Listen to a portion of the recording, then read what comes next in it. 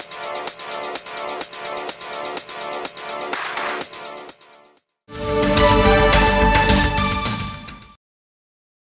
Ecco la nuova tratta Poggioreale-Stadera della linea tranviaria Municipio Pietrarsa-Stadera. La nuova sede tranviaria a doppio binario è stata inaugurata stamattina e da domani entrerà a regime, prolungando la rete esistente. Via della Stadera è un importante asse di collegamento con la periferia orientale e i comuni limitrofi e pertanto la nuova linea favorirà l'interscambio modale, incrociando la stazione di Piazza Garibaldi, la Circumvesuviana, Via Marina ed infine arrivando a Piazza Municipio anche la stazione marittima ed il molo Beverello.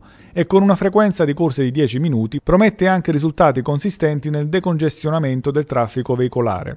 La tratta è costata circa 10 milioni di euro, compresa la risistemazione del tratto stradale, la riconfigurazione dei marciapiedi, la razionalizzazione degli impianti e dei sottoservizi e l'ottimizzazione del sistema della sosta, traducendosi quindi in un intervento di riqualificazione urbanistica dell'intera area.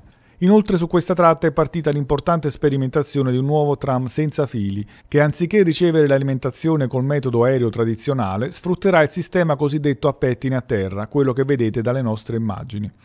Una realizzazione che giunge in un momento in cui il settore del trasporto locale vive un fortissimo disagio a causa dei tagli che dal 2009 ad oggi fra governo e regione sono arrivati al 40% e dalle difficoltà nell'assegnazione del fondo previsto dal decreto 174, il cosiddetto salva comuni.